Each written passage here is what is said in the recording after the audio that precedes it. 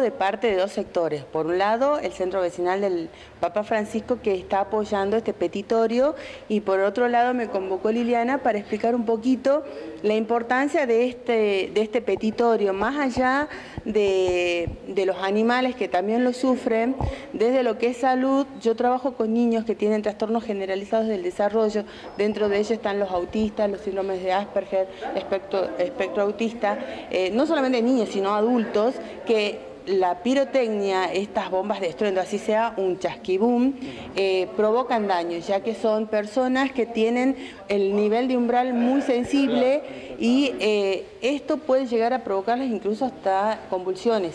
Es un nivel de desesperación importante para ellos y el contenerlos de parte de la familia es realmente un proceso bastante complicado.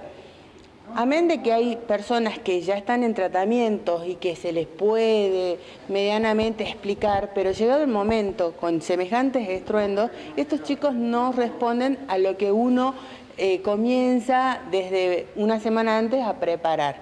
Y por el otro lado también les quería explicar de que así no haya personas con ningún tipo de trastorno, el solo hecho de un solo eh, estruendo, de una bomba de estruendo, provoca daño auditivo. Y le estamos provocando esto a nuestros niños, a nuestros jóvenes, que después, cuando vayan a ingresar a la gendarmería, a algún profesorado o algo, van a tener ya un trauma acústico y es lo mismo que tienen las personas que hace años trabajan en ambientes... Eh, como la fábrica, donde el nivel de ruido es muy alto. Entonces, estas personas lo, lo, tienen a lo largo del tiempo. En cambio, con una sola bomba de estruendo puedes provocar esto en un segundo.